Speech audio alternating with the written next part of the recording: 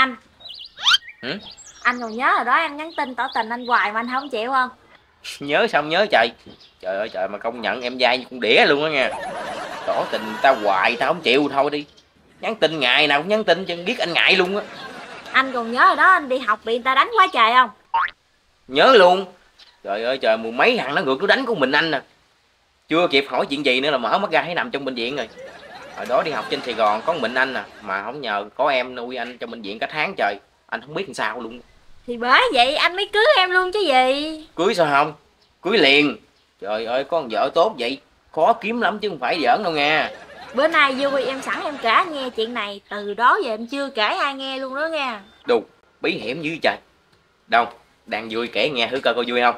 thiệt ra là hồi đó em là người mướn mười mấy thằng đám quýnh anh đó